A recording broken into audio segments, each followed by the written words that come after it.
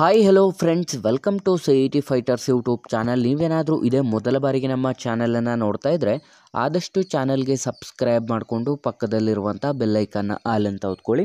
ಬನ್ನಿ ಸ್ನೇಹಿತರೆ, ಇವತ್ತಿನ ಈ ಒಂದು ವಿಡಿಯೋದಲ್ಲಿ ಸಂಪೂರ್ಣ ಬಿ ಎಂ ಟಿ ಸಿ ಹುದ್ದೆಗಳಿಗೆ ಸಂಬಂಧಪಟ್ಟಂತೆ ಕಂಡಕ್ಟರ್ ಹುದ್ದೆಗಳಿಗೆ ಇದೀಗ ಆನ್ಲೈನ್ ಅರ್ಜಿ ಸಲ್ಲಿಕೆಯನ್ನು ಬಿಡುಗಡೆ ಮಾಡಲಾಗಿರುತ್ತೆ.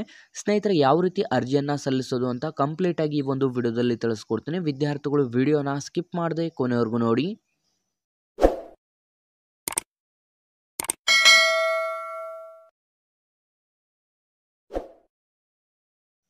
ಸ್ನೇಹಿತರೆ, ಇಲ್ಲಿ ಕಾಣಿಸ್ತಾ ಇದೆ ನೋಡಿ, ಇದೊಂದು ಸಂಪೂರ್ಣ ಕೆ ಎನ ಒಂದು ಅಧಿಕೃತವಾದಂಥ ಒಂದು ವೆಬ್ಸೈಟ್ ಕೂಡ ಇದಾಗಿರುತ್ತೆ.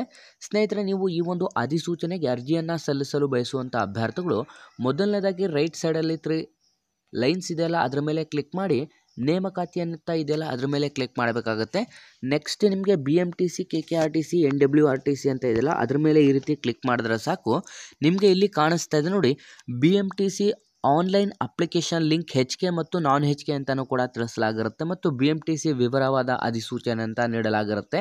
ಸ್ನೇಹಿತರೆ, ನೀವೇನಾದರೂ ನಮ್ಮ ಹತ್ರನೇ ಆನ್ಲೈನ್ ಅರ್ಜಿಯನ್ನು ಸಲ್ಲಿಸಬೇಕು ಅಂತಂದರೆ ನಾವು ಸ್ಕ್ರೀನ್ ಮೇಲೆ ನಂಬರ್ ಕಾಣಿಸ್ತಾ ಇದೆಯಲ್ಲ, ಆ ಒಂದು ನಂಬರ್ಗೆ ನಿಮ್ಮ ಒಂದು ದಾಖಲಾತಿಗಳನ್ನು ನೀವು ಸಂಪೂರ್ಣ ವಾಟ್ಸಪ್ ಮಾಡಿದ್ರೆ ನಾವು ಆನ್ಲೈನ್ ಅರ್ಜಿಯನ್ನು ಕೂಡ ಹಾಕಿಕೊಡಲಾಗುತ್ತದೆ.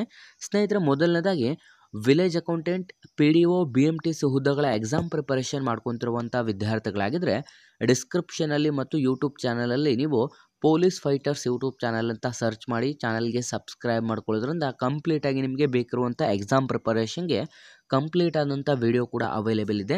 ಸ್ನೇಹಿತರೆ, ಮೊದಲನೇದಾಗಿ ನೀವು ಹೆಚ್ ಆಗಿದರೆ ಆಗಿದ್ರೆ ಹೆಚ್ ಕೆ ಮೇಲೆ ಕ್ಲಿಕ್ ಮಾಡಿ ಅಥವಾ ನಾನು ಹೆಚ್ ಕೆ ನಾನು ನಾನ್ ಹೆಚ್ ಕೆ ಮೇಲೆ ಕ್ಲಿಕ್ ಮಾಡಿಬಿಟ್ಟು ನೀವು ಯಾವ ರೀತಿ ಅಪ್ಲಿಕೇಶನನ್ನು ಹಾಕೋದು ಅಂತ ತಿಳಿಸ್ಕೊಡ್ತೀನಿ.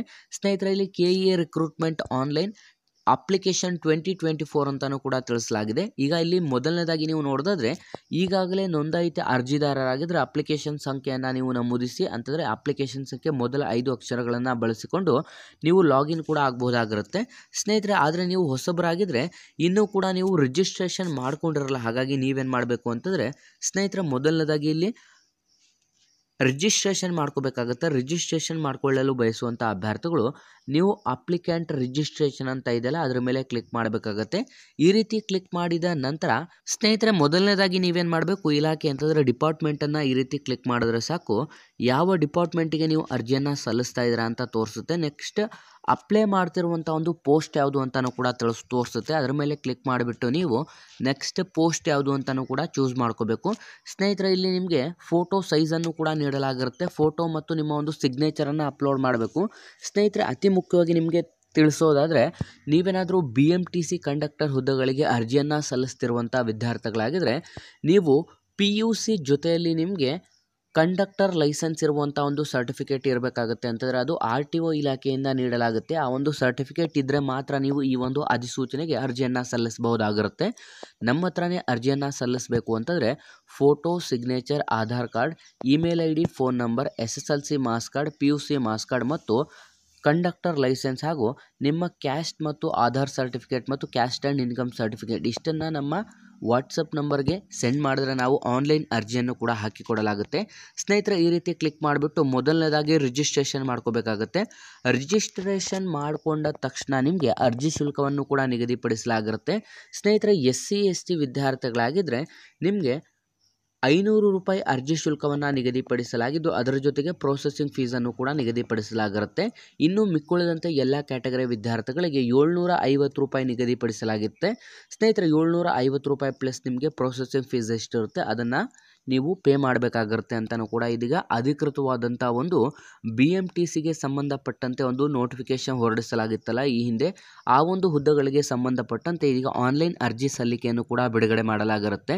ಸ್ನೇಹಿತರೆ, ಯಾವುದೆಲ್ಲ ವಿದ್ಯಾರ್ಥಿಗಳು ವಿಡಿಯೋಸ್ನ ನೋಡ್ತಾ ಇದ್ರೆ, ಆದಷ್ಟು ನಮ್ಮ ವಾಟ್ಸಪ್ ನಂಬರ್ಗೆ ನಿಮ್ಮ ಅರ್ಜಿಯನ್ನು ಸಲ್ಲಿಸಲಿಕ್ಕೆ ಡಾಕ್ಯುಮೆಂಟ್ಸ್ಗಳನ್ನು ಸೆಂಡ್ ಮಾಡಿ. ಏನಕ್ಕೆ ಅಂತಂದರೆ, ತುಂಬ ಜನ ಹೀಗೆ ವಿಲೇಜ್ ಅಕೌಂಟೆಂಟ್ ಅರ್ಜಿ ಸಲ್ಲಿಸಲು ಹೋಗಿ ತುಂಬ ಜನ ರಾಂಗ್ ಮಾಡ್ಕೊಂಡಿದ್ದಾರೆ. ಮತ್ತು ಎಡಿಟ್ ಆಪ್ಷನ್ ಇರಲ್ಲ ನಿಮಗೆ. ಹಾಗಾಗಿ ಆದಷ್ಟು ವಿದ್ಯಾರ್ಥಿಗಳು ನಿಮಗೆ ಡಾಕ್ಯುಮೆಂಟ್ಸನ್ನು ಸೆಂಡ್ ಮಾಡಿ ಆನ್ಲೈನ್ ಅರ್ಜಿಯನ್ನು ಕೂಡ ಹಾಕಿಸ್ಕೊಳ್ಳಿ.